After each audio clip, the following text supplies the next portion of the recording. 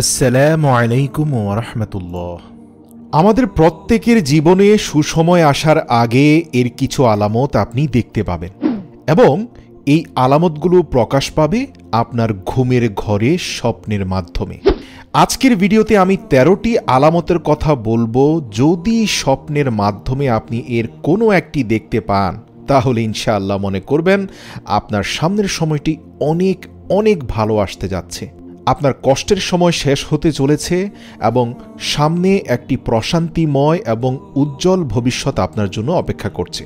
তো প্রিয় দর্শক, এটা কার কথা? এটা কারও মন গড়া কথা নয়। বিশ্ববিখ্যাত আলেমে দিন স্বপ্ন বিশারদ আল্লামা শিরিন রাহিমাহুল্লাহ আলাহি এর কথা। তো প্রিয় দর্শক, তার জগৎ বিখ্যাত খাবনামা গ্রন্থ থেকে আজ আমরা তেরোটি লক্ষণ সম্পর্কে জানব, যেগুলোর দ্বারা প্রকাশ পায় যে আপনার সময় ভালো হতে যাচ্ছে।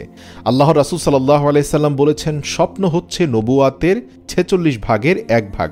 নবুয়াত বন্ধ হয়ে গিয়েছে, কিন্তু স্বপ্নের দরজাটি চালু রয়েছে। যারা মুমিন মুসলমান, তাদেরকে বিভিন্ন রকম আকার ইঙ্গিত দিয়ে বোঝানো হয় যে, তুমি এই জিনিস থেকে সাবধান হয়ে যাও অথবা এই জিনিসগুলো তুমি অতি দ্রুত পেতে যাচ্ছ। এক্ষেত্রে যারা চিন্তার খোরাক রাখে, তারাই শুধুমাত্র এর থেকে শিক্ষা নিতে পারে। তো যাই হোক, কথা না বাড়িয়ে আমরা তেরোটি স্বপ্নের ব্যাখ্যা জেনে নিই। এক নম্বর হচ্ছে, আপনি যদি স্বপ্নে দেখেন যে আপনি কন্যা সন্তানের বাবা হয়েছেন তাহলে বুঝে নিবেন আপনার জীবনে সুখ, শান্তি, ব্যবসার উন্নতি, অর্থাৎ সার্বিকভাবে আপনার জীবন পরিবর্তন হতে যাচ্ছে।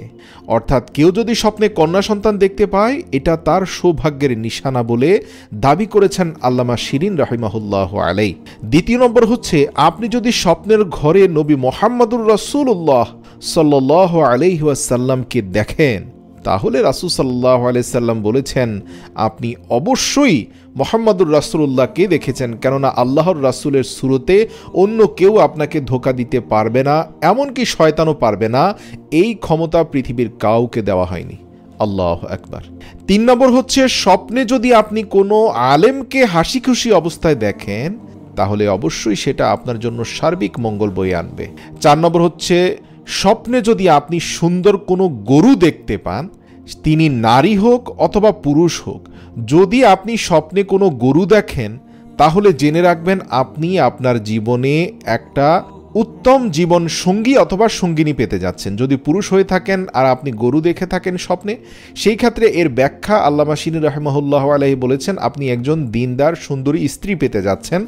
আর আপনি যদি নারী হয়ে থাকেন, তাহলে আপনি একজন সুদর্শন, দিনদার, পুরুষ জীবনসঙ্গী পেতে যাচ্ছেন। পাঁচ নম্বর হচ্ছে, আপনি যদি স্বপ্নে এমনটি দেখেন যে আপনি কাবা শরীফ তাওয়াফ করছেন অথবা যদি আপনি স্বাভাবিকভাবে স্বপ্নে কাবা শরীফ দেখেন, তাহলে নিঃসন্দেহে সেই ব্যক্তি অত্যন্ত সৌভাগ্যবান, খুব শীঘ্রই তার ভালো সময় আসতে যাচ্ছে।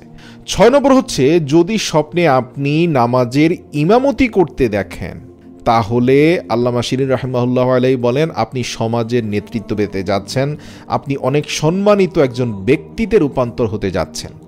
সাত নম্বর হচ্ছে, যদি আপনি স্বপ্নে স্বাভাবিকভাবে নামাজ পড়তে দেখেন, অর্থাৎ বসে বা শুয়ে নয়, স্বাভাবিকভাবে এর অর্থ হচ্ছে আপনার জীবন পরিবর্তন হতে যাচ্ছে, এটা একটা ভালো স্বপ্ন। আট নম্বর হচ্ছে, যদি আপনি অধিক কান্নাকাটি করতে দেখেন, তাহলে আপনি মনে করবেন অবশ্যই আপনার জন্য ভালো সময় অপেক্ষা করছে। আল্লাহ পাক রব্বুল আলামিন অতি দ্রুত আপনার অবস্থা পরিবর্তন করতে যাচ্ছেন। সেটা অর্থনৈতিকভাবে হওয়ার সম্ভাবনা খুব বেশি। কান্নাকাটি করতে দেখা খুবই ভালো একটি স্বপ্ন। নয় নম্বর হচ্ছে, স্বপ্নে যদি আপনি কোরআন তালোয়াত করতে দেখেন, তাহলে সেটা আপনার জন্য খুবই ভালো একটি লক্ষণ। এর অর্থ হচ্ছে, আপনি খুব দ্রুতই আপনার মনের আশা পূরণ করতে পারবেন। এতে দুশ্চিন্তাগ্রস্ত হওয়ার কোনো কারণ নেই।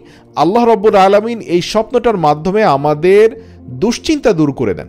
দশ নম্বর হচ্ছে, স্বপ্নে যদি আপনি চাঁদ দেখেন, তাহলে সেটা খুবই ভালো একটি স্বপ্ন।